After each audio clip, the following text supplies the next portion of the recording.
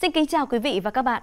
Thưa quý vị, đêm nay ở khu vực Tây Bắc, Việt Bắc của Bắc Bộ sẽ tiếp diễn mưa rông với lượng mưa là từ 15 cho đến 30 mm, có nơi trên 90 mm. Còn trong những ngày tới, nắng nóng tiếp tục là hình thái thời tiết chủ đạo ở Bắc Bộ và Trung Bộ.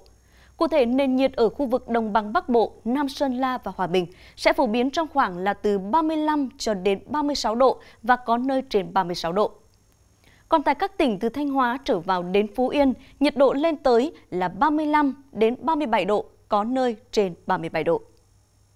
Trong những ngày tới, nắng nóng sẽ bao trùm khắp các khu vực. Do đó, chỉ số tia UV sẽ ở mức nguy cơ cao gây hại cho da và mắt, nên quý vị cần lưu ý chuẩn bị những biện pháp che chắn phù hợp như bôi kem chống nắng, mặc áo khoác nắng, đổi mũ hay là đeo kính râm trước khi ra ngoài.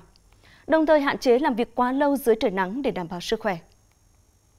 Trong khi đó, các tỉnh còn lại của Trung Bộ từ Khánh Hòa đến Bình Thuận cũng như hai khu vực Tây Nguyên và Nam Bộ nền nhiệt khá dễ chịu, hầu hết là đều dưới 35 độ. Tuy nhiên thì về chiều tối vẫn có khả năng xảy ra mưa rông, sẽ đi kèm với lốc, xét và gió giật mạnh ở khu vực Tây Nguyên và Nam Bộ nên quý vị cần lưu ý. Dự báo thời tiết các khu vực tỉnh Nghệ An đêm nay và ngày mai cụ thể như thế nào sẽ có trong phần tiếp theo của bản tin. Khu vực đồng bằng ven biển không mưa, ngày nắng nóng, có nơi nắng nóng gay gắt, gió nam đến tây nam cấp 3, nhiệt độ 27 đến 36 độ, độ ẩm 70 đến 80%. Khu vực Trung Du và vùng núi, đêm và chiều tối có mưa rào và rông vài nơi, ngày nắng nóng, có nơi nắng nóng gay gắt. Gió Nam đến Tây Nam cấp 2, cấp 3, nhiệt độ 25 đến 37 độ, có nơi 38 độ, độ ẩm 80 đến 90%.